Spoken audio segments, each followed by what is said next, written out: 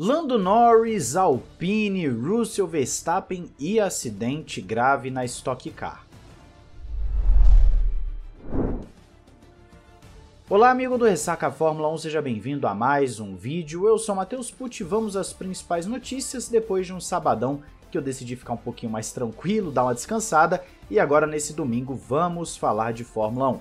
Começando com Lando Norris, que deu uma declaração bem legal no podcast Beyond the Grid, falando sobre a adaptação do carro e se o carro da McLaren é ou não feito para ele. Dentre as várias coisas que ele disse, me chama a atenção quando ele fala que há coisas que dizem sobre o Ricardo não se adaptar ao carro e ele, Norris, se adaptar muito bem, que o carro é feito para ele e que isso não poderia ser mais falso. Não que ele odeie o carro que está pilotando agora, mas é muito fora do estilo de condução dele. Ele teve que se adaptar ao carro, não há muito que a equipe possa fazer por ele e eles só fazem o carro mais rápido possível. Não é como se o chamassem para falar: olha, Lando, nós vamos fazer tal coisa, e ele pede algumas coisas sim e diz se está na direção que ele quer ir, mas a equipe se concentra naquilo que é melhor no túnel de vento e de modo algum é mais adaptado para ele. Ele sente que está dirigindo um carro muito parecido em termos de características com o do primeiro ano dele na Fórmula 1. Mudou de poucas maneiras, mas nada que ele diria que está mais adaptado ao estilo dele do que alguns anos atrás. Então Norris dá uma declaração que é sim bem interessante, porque se a gente parar para ver e ele falar que o carro não mudou muito em estilo de condução, significa que a McLaren está indo para uma ideia, para um conceito já há alguns anos. Eles não têm aberto mão desse conceito, eles não estão querendo mudar esse conceito. E me chama bastante atenção o Norris falar sobre isso. Tá tendo muito desse negócio, né, de que o Ricardo não adapta, de que o problema é que o carro e tal. E eu quero saber a sua opinião aí nos comentários. Afinal, o problema é o Ricardo, é o carro? O que que é? Diz aí. A Alpine está passando por um belo problema com seus pilotos, querendo achar alguém para a vaga de Fernando Alonso, e no final das contas, ainda não tem alguém oficialmente anunciado. Só que o Laurent Rossi veio a público falar que isso não está sendo um grande problema por enquanto, porque ainda estão com Fernando Alonso até o final do ano e normalmente deveriam ser capazes de simplesmente absorver esse tipo de impacto, porque o mais importante é o carro. Ele cita que imagina se você coloca o Verstappen 18º ou 19 lugar e duvida que ele faria melhor do que talvez três posições extras.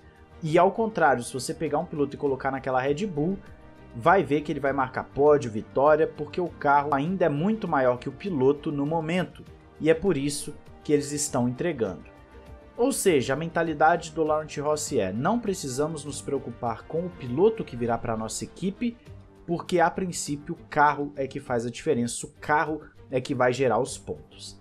Eu acredito que ele tem sim uma pitada de coerência, mas, é, mas também fica um pouco estranho, porque o piloto tem sim a sua parcela importante. Enquanto tiver 1% do piloto ali, vai ser importante. É por isso que o Verstappen está 100 pontos na frente no campeonato e o Pérez não. É por isso que você vê os pilotos tendo diferenças na forma de adaptar um carro, na forma de pilotar, na, nos resultados entregues. Você vê claramente que existe sim uma diferença do que o carro é capaz de entregar e do que o piloto extrai daquele carro.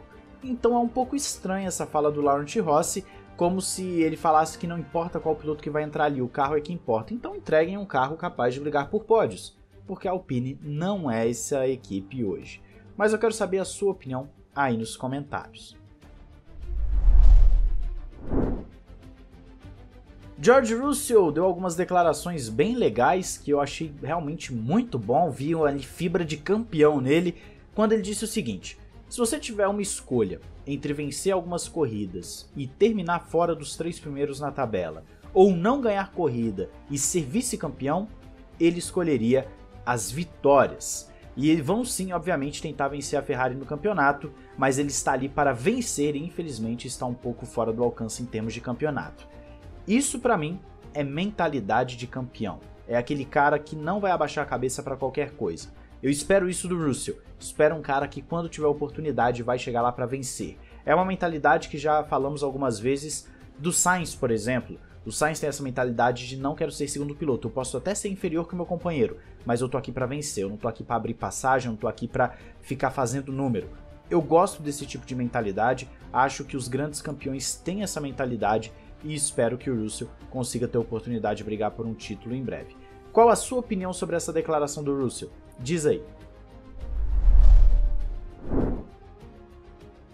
Agora vamos para Max Verstappen falando sobre Singapura. De acordo com o holandês, no início do ano o carro estava com excesso de peso e esse peso estava no lugar errado, então o carro tendia muito para saídas de frente.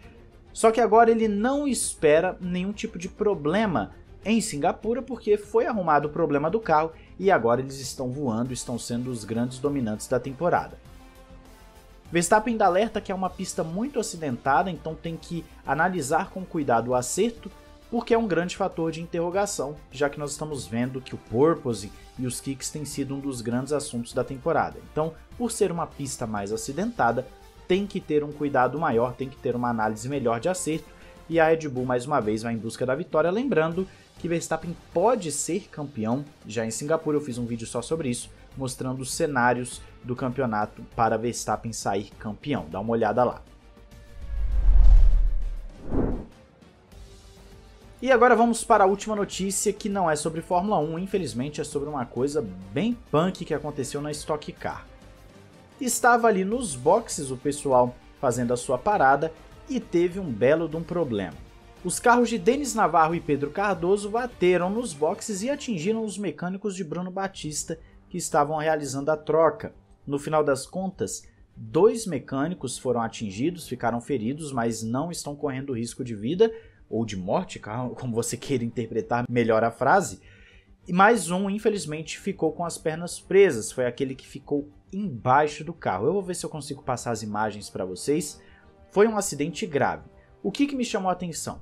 A direção de prova botou safety car e tudo mais, mas é o tipo de coisa, ainda mais sendo nos boxes ali no pit lane, o ideal seria parar a corrida imediatamente. Bandeira vermelha, parou a corrida de todo jeito, porque não tem como, não tem condições de você continuar a corrida dessa forma. Acho que vacilaram um pouco nesse aspecto, ainda bem, ainda bem entre aspas, né, eu vou dizer, que limitou-se a alguns poucos danos aos mecânicos, infelizmente um teve fraturas, espero que recupere e fique 100%, e é o tipo de coisa que não vai acontecer toda a corrida, não tem porquê o pessoal começar a falar que, nossa, precisa mudar a regra de não sei o que, não sei o que. Infelizmente aconteceu. É o tipo de coisa que acontece um em um milhão, existem centenas de pitstops toda temporada. E você não vê esse tipo de coisa acontecendo, é muito difícil. Infelizmente aconteceu, infelizmente machucou dois mecânicos, não deve acontecer de novo. Se acontecer de novo, vai ser algo assim muito fora da curva mas fico alerta de qualquer forma, né? Alguém acabou saindo um pouquinho mais afobado ali, teve essa batida e sobrou para um pessoal que não tinha nada a ver com a história. Foi um grande susto, o pessoal que estava assistindo ao vivo deve ter pensado, nossa, ali pode ter machucado, pode ter matado, porque o pessoal queria levantar os carros, que o mecânico ficou com a perna presa, mas ainda bem que tá todo mundo bem. Diz aí qual foi a sua reação assistindo a corrida, não esqueça de se inscrever e ativar o sininho para não perder nada. Um grande abraço, valeu e falou!